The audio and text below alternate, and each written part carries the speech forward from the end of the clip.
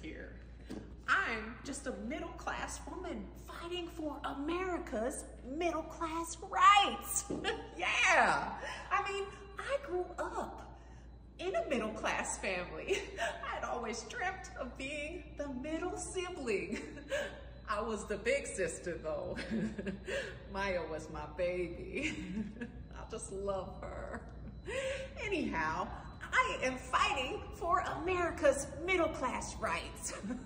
I mean, I went to a middle school that I just loved.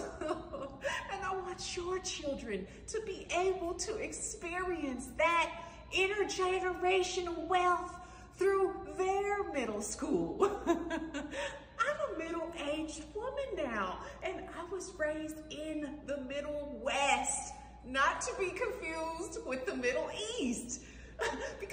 Geographically, if, if you look at a map, you'll notice the Midwest is kind of like on the Mid-East, but you know, that's besides the point. Kamala Harris for middle-class Americans. hey, don't you know?